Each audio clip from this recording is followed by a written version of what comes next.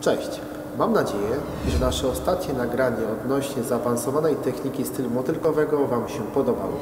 W dniu dzisiejszym przedstawimy krok po kroku naukę nawrotów koziołkowych w kraulu i grzbiecie. Miłego oglądania!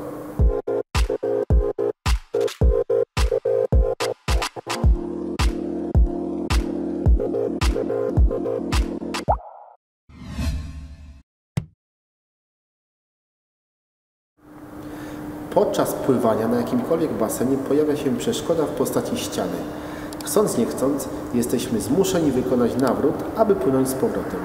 Płynąc kraulem lub grzbietem, idealnym rozwiązaniem jest nawrót koziołkowy. Zapraszam na pierwsze ćwiczenie.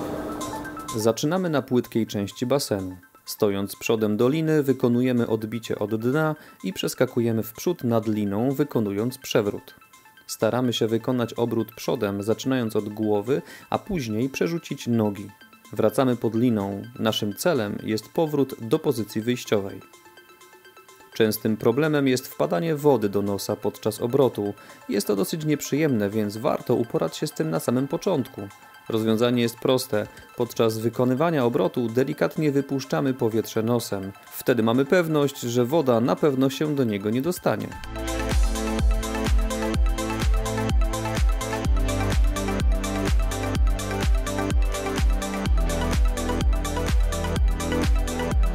Jeśli udało się Wam opanować poprzednie ćwiczenie, przechodzimy do kolejnego, również na części płytkiej. Pozycja wyjściowa to stanie z rękoma trzymanymi swobodnie na powierzchni wody. Naszym zadaniem jest wykonanie obrotu tak, aby powrócić do pozycji wyjściowej, czyli do stania. Podczas przewrotu zwracamy uwagę na to, aby zaczynać ruch od głowy, przyciągając ją w kierunku klatki piersiowej, a następnie przerzucamy nogi. Również bardzo ważne jest, aby przerzucać ciało w jednej osi.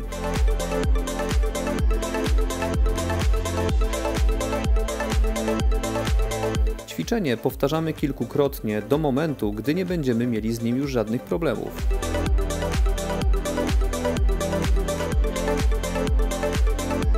Częstym błędem jest wykonywanie obrotu bokiem, co uniemożliwia równe i prawidłowe wykonanie tego ćwiczenia.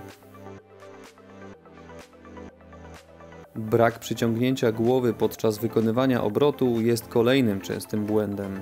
Prawidłowe ułożenie głowy jest tu niezmiernie ważne.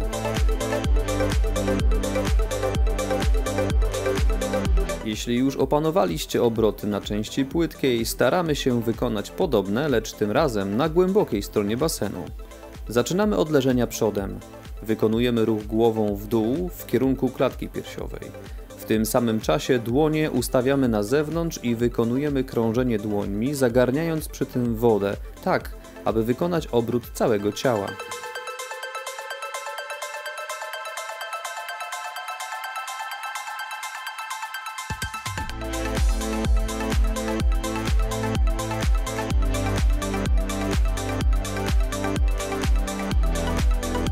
Jeśli opanowaliście już to ćwiczenie, zachęcamy do wykonania kolejnego, nieco trudniejszego wariantu.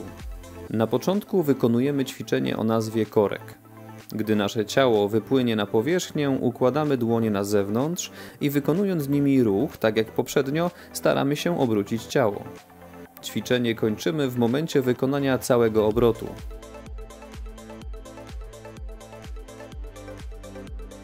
Natomiast jeśli już opanujemy jeden obrót, możemy spróbować wykonać ich kilka z rzędu. Jest to również świetne ćwiczenie, które pozwoli Wam wyczuć pozycję Waszego ciała.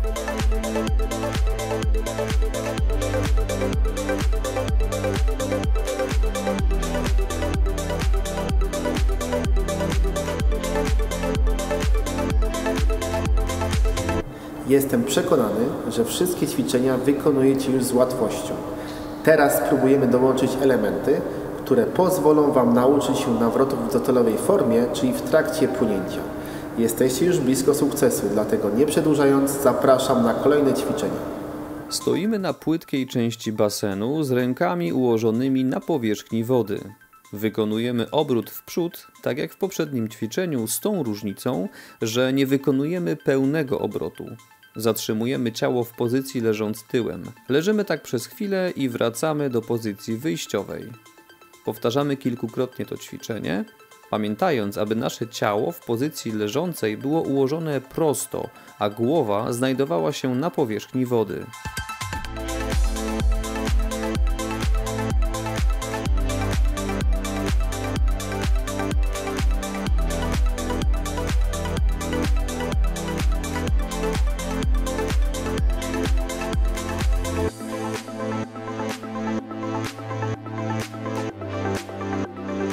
Czas na wykonanie obrotu podczas płynięcia. Płyniemy kraulem kilka metrów, następnie energicznym ruchem układamy ręce wzdłuż ciała i wykonujemy obrót. Ruch rąk ułatwi nam wykonanie tego obrotu. Przerzucamy nogi i ustawiamy ciało w pozycji leżenia na plecach. Następnie dokładamy pracę nóg i płyniemy tak kilka metrów. Powtarzamy ćwiczenie kilkakrotnie do momentu, aż całkowicie je opanujemy.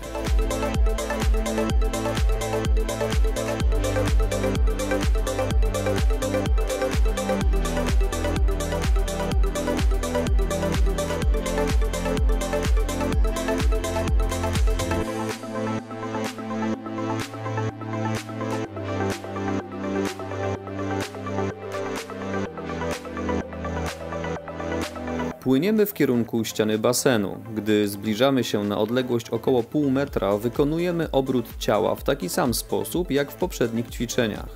Opieramy nogi na ścianie i odbijamy się od niej. Podczas odbicia kąt w stawach kolanowych powinien wynosić około 90 stopni.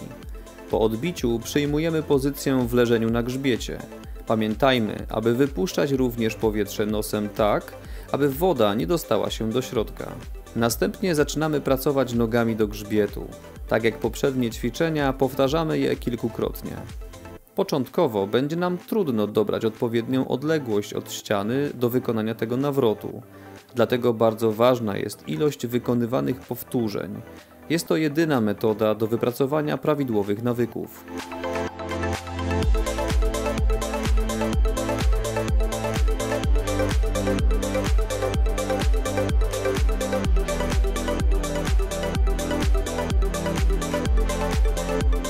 Podczas kolejnego ćwiczenia ręce układamy na ścianie basenu.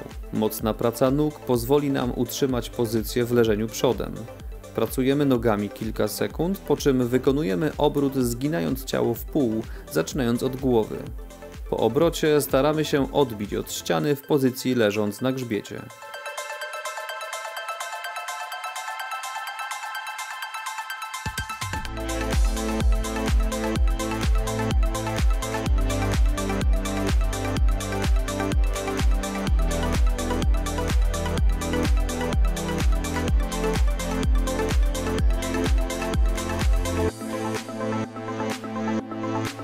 Dopływamy kraulem do ściany i wykonujemy nawrót.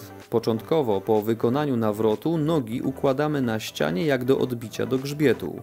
Ręce znajdują się wyprostowane za głową, odbijamy się od ściany, zaraz po tym odwracamy ciało do leżenia na piersiach.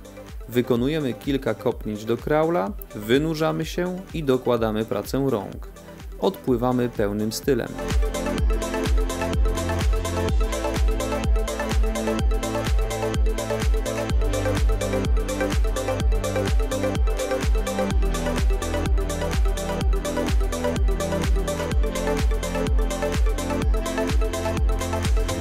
Zakończenie odcinka chcielibyśmy pokazać Wam, jak prawidłowo wygląda wykonanie nawrotu do kraula oraz grzbietu.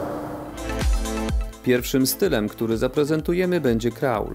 Nawrót podzielimy na trzy fazy: napłynięcia, obrotu oraz odpłynięcia. Podpływamy do ściany. Im szybsza prędkość dopłynięcia do ściany, tym wykonanie nawrotu będzie dla nas prostsze. Przed obrotem ręce układamy wzdłuż ciała. Wykonujemy nawrót. Tak jak wcześniej, staramy się, aby kąt w stawach kolanowych przed odbiciem wynosił około 90 stopni. Następnie układamy wyprostowane ręce za głową, tak aby nasza sylwetka była opływowa. Odbijamy się od ściany i wykonujemy kopnięcia nogami do stylu motylkowego. W pływaniu kraulem przepisy pozwalają na przepłynięcie 15 metrów pod lustrem wody. Przed tym punktem głowa musi przeciąć linię wody. Po wynurzeniu dokładamy pracę rąk i płyniemy pełnym stylem.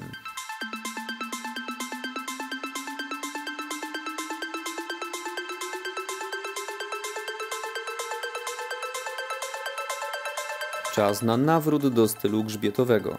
W tym elemencie przydatne będą chorągiewki nawrotowe, które oznaczają odległość 5 metrów od ściany. To cenna informacja, dzięki której wiemy, że ściana basenu jest blisko i musimy przygotować się do wykonania nawrotu. Każdy pływak mijający chorągiewki powinien policzyć ilość wykonywanych ruchów do ściany. W sytuacji pokazanej na filmie pływak wykonuje trzy ruchy przed nawrotem. Po ich wykonaniu odwracamy się przodem, ręce ułożone są wzdłuż ciała. Wykonujemy nawrót, układamy ręce wyprostowane i złączone za głową, następnie odbijamy się od ściany. Zaraz po odbiciu wykonujemy kilka kopnięć do stylu motylkowego. W tym przypadku pod wodą również możemy przepłynąć 15 metrów. Po wypłynięciu dołączamy pracę ramion i płyniemy pełnym stylem.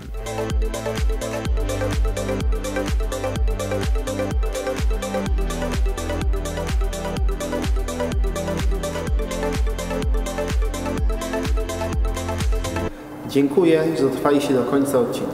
Tak jak zawsze zachęcamy do komentowania i subskrypcji naszego kanału. Jest to dla nas cenna informacja. Wtedy wiemy, że nasz kanał rozwija się w dobrym kierunku. W kolejnym odcinku skupimy się na nauce nawrotu do stylu motylkowego oraz klasycznego. Do zobaczenia za dwa tygodnie.